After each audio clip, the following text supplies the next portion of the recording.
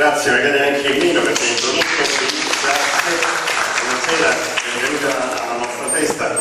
Eh, prenderò magari pure meno tempo perché ha introdotto brillantemente, naturalmente, il tema eh, in discussione eh, stasera. Non possiamo credere che ancora in un paese, il nostro, forestato, insomma, da, da, da, tanti problemi di tipo ambientale, non esista ancora un corpus normativo che persegue seriamente, rigorosamente eh, tali, tali crimini. Però tant'è, è così. È così, anche se alcuni mesi fa, all'inizio anno, Legambieta, poi negli anni tanti sono aggiunti alle associazioni ambientaliste, eh, tanti, tanti cittadini, eh, basta ricordare la oceanica manifestazione del novembre scorso che ha portato eh, circa 100.000 persone nelle, nelle strade eh, di, di Napoli, eh, persone che chiedevano con convinzione e con determinazione che presto perché poi sul tappeto non ci stanno solo non ci stanno dispute giuridiche, ma ci sta il futuro degli abitanti di, di questa terra in particolare,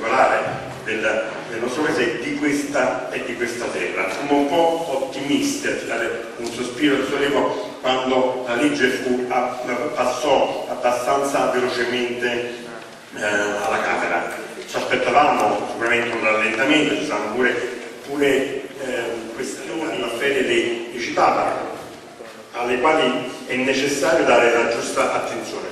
Ma detto questo non si spiega questo ritardo, ma a parte il ritardo proprio fatto di mesi, di giorni, anche un po' questa sorta di rilassamento, come se il, il problema si fosse un po' acquetato, eh, fosse la pressione ehm, popolare, così in massa, ehm, si è fermata per un attimo, eh, anche dire, eh, grazie alla fiducia che ehm, era stata instillata in, in tutti noi da, dal passaggio del provvedimento alla Camera.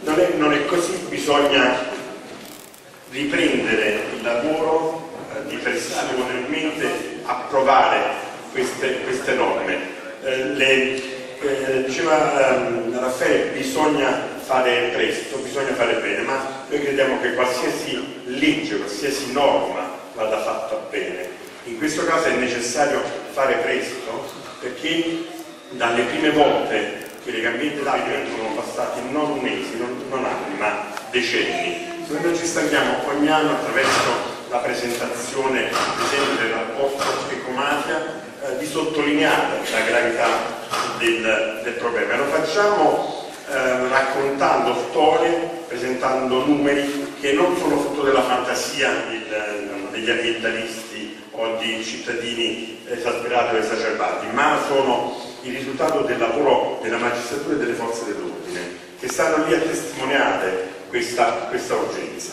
L'occasione di, di, stasera eh, serve anche a questo, serve a mettere di fronte, a far parlare